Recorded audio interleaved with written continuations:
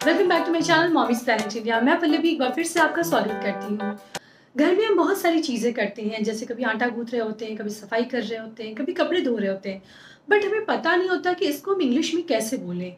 तो बिल्कुल नहीं घबराना है। आज हम इंग्लिश सीखने की जर्नी को आगे बढ़ाते हैं और घर में करने वाली छोटी मोटी जो काम है, जो हम फीमेल्स करते हैं, उसको इंग्लिश में कैसे बोलना है ताकि हम भी बोलें, हमारे बच्चे भी सीखें और उनकी वोकेबलरी भी इनरिच हो। तो चलिए फटाफट आज का वीडियो शुरू करते हैं और जानते हैं इसके बारे में। सबसे पहले, जैसे आकर ठीक करते हैं, बिस्तर सुबह उठते हैं तो बिस्तर क्लीन करते हैं, न्यू बेडशीट डालते हैं तो उसे हम क्या बोलते हैं? मैं बिस्तर बना रही हूँ। तो इसे इंग्लिश में बोलेंगे I am making the bed मैं बिस्तर बना रही हूँ। I am making the bed मैं चाय बना रही हूँ। I am making the tea मैं चाय बना रही हूँ। I am making the tea मैं आटा गूँथ रही हूँ। आटा गूँथने को बोलते हैं नीड जी हाँ जो मुट्ठी ऐसे करके आटा गूँथते हैं ना, उसे हम बोलते हैं नीड और आटा को बोलते हैं फ्लावर तो हम बोलेंगे I am kneading the flour यानी मैं आटा गूँथ रही हूँ। I am kneading the flour. दूसरा, मैं रोटी बना रही हूँ। I am making chapatis. मैं रोटी बना रही हूँ। रोटी ऐसा वर्ड है जिसको इंग्लिश में भी रोटी भी बोल सकते हैं, चपाती भी बोल सकते हैं। दोनों फॉर्म में ये चलेगा। तो अगर आप बोलना चाह रहे हैं, I am making the chapati, वो भी ठीक है। अगर आप बोल रहे हैं, I am making the rotis that is also fine ठीक है? तो आई एम मेकिंग रोटीज और आई एम मेकिंग चपातीज दोनों चलेगा। इसके बाद, मैं सब्ज़ी काट रही हूँ। I am chopping the vegetables. मैं सब्ज़ी काट रही हूँ। I am chopping the vegetables मैं सब्ज़ी काट रही हूँ। I am chopping the vegetables मैं अंडा फेंट रही हूँ। तो जो फेंटने वाली चीज़ होती है, उसे हम इंग्लिश में बोलते हैं विस्कर क्या बोलते हैं? विस्कर तो यहाँ हम बोलेंगे I am whisking the eggs मैं अंडा फेंट रही हूँ। I am whisking the eggs मैं खाना परोस रही हूँ। I am serving the food मैं खाना परोस रही हूँ। I am serving the food खाना परोसने को बोलते हैं सर्विंग द फ़ूड ठीक है? नेक्स्ट मैं बर्तन धो रही हूँ। I am doing the dishes मैं बर्तन धो रही हूँ।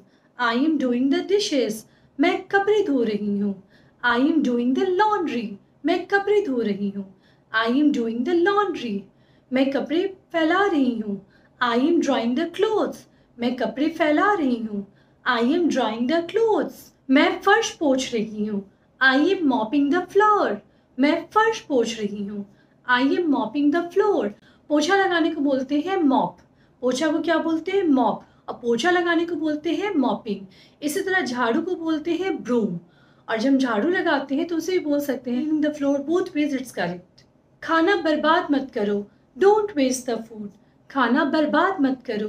डोंट वेस्ट द फ़ूड बचा हुआ खाना फ्रिज में डाल दो।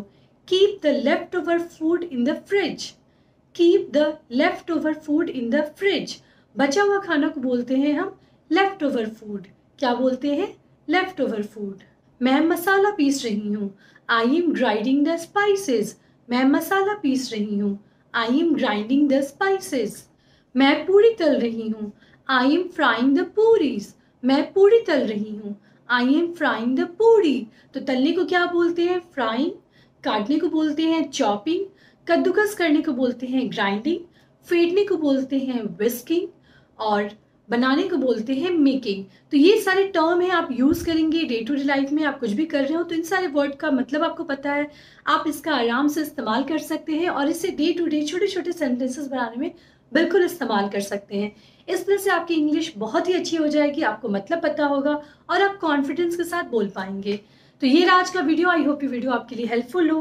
हेल्पफुल लगे तो लाइक और शेयर ज़रूर करें. आप मुझे इंस्टाग्राम और फेसबुक पे भी ज़रूर फॉलो करें. कुछ पूछना चाहते हैं, कुछ बताना चाहते हैं कमेंट सेक्शन में ज़रूर लिखें. देखते रहे mommy's planet India thank you